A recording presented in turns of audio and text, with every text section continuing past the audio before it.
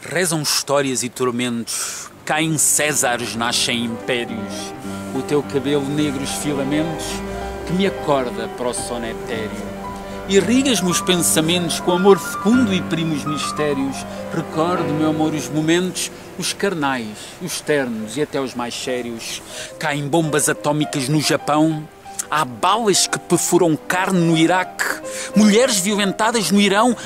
Há em África cidades a saque. Boa tarde, Nádia. O meu nome é João. Sou poeta e não há ninguém que me trate. És a mais bela diva do universo. És o corpo celeste no qual eu gravito neste cosmos de moléculas disperso e por ti corro, rasgo, firo e até grito. O meu corpo no teu está submerso, és a deusa helénica, és o mito. Gelavo da lusitânia paixão deste verso, em que te oro, escrevo e até medito. Há vasta fome na Indochina, degolados no Afeganistão, há raptos na América Latina, atentados no Paquistão. Olá, Nádia, doce menina, sou poeta. O meu nome é João.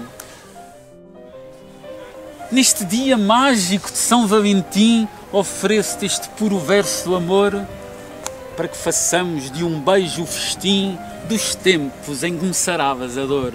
Ante, Nádia! Amas-me a mim? Provocas-me um primário furor, embora terno, pele de cetim, és o meu sol, fonte de luz e calor. Beija-me, Nádia, neste repto sensorial em que me entrego à tua alma façamos o amor terno e carnal, dá-me a volúpia, a ternura e a calma. Nádia, és a mulher fundamental que me enlouquece, que me ama e que me acalma.